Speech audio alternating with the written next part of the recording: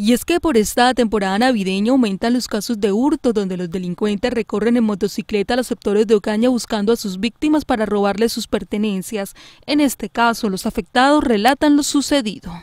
Eh, nos estábamos ahí reunidos en familia, prendiendo las velitas y como siempre, como todos los años, ¿no? Y este, en eso yo le dije, Yanire, saquemos una foto al niño prendiendo las velitas. Ella me dice, mamá, páseme el celular del comedor que está allá, entonces yo se lo pasé, al momentico de eso lo he pasado, me dice, mamá sonríe para sacarle una foto. Y este, cuando yo estaba así mirándola a ella, cuando aparece el, moto, y se va un señor apuntándole con un arma, y le dice, se va a hacer morir, entréguelo.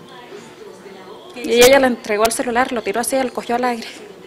Asegura que ya no se puede salir ni mucho menos disfrutar de estas fechas especiales, así sea hasta en la propia casa, debido a la inseguridad. Ya no podemos ni siquiera salir a las calles a prender las velitas en familia ni nada con tranquilidad.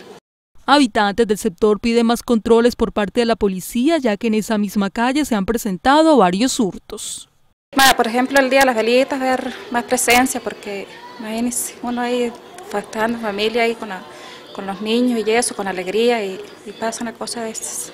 El celular hurtado era de alta gama y de inmediato fue reportado por parte de la afectada, quien espera que a través de estas imágenes se dé con los responsables y que la comunidad tenga más precaución en las calles, ya que los ladrones están al acecho.